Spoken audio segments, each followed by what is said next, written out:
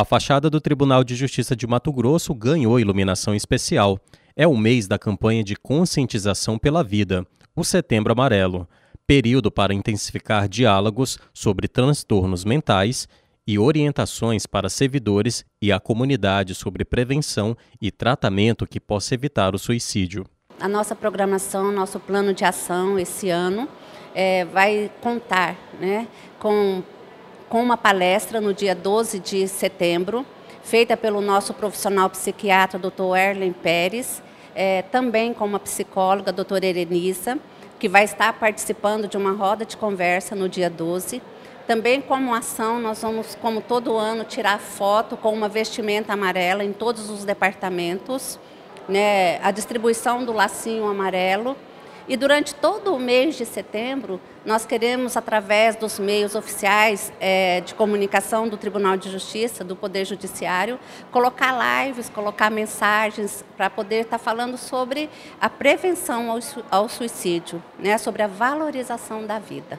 Dados do Ministério da Saúde mostram que somente no Brasil são registrados cerca de 12 mil suicídios todos os anos 96,8% dos casos de suicídio têm relação com algum tipo de transtorno mental.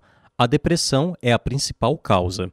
Neste caso, é necessário tratamento com especialista, além de atenção, compreensão e muito diálogo com familiares e amigos acho que o maior fator é nós prestarmos atenção naquele que está ao nosso redor. Às vezes elas dão sinais pequenos que a gente não valoriza isso. Né? Então, essa é a maior forma. Se a gente não se nós não conseguirmos falar, é, que a gente oriente, que a gente mostre profissionais que são capacitados né, para estar falando sobre, cuidando sobre essas doenças mentais. Outra rede de apoio que atua fortemente na prevenção ao suicídio é o Centro de Valorização da Vida, o CVV.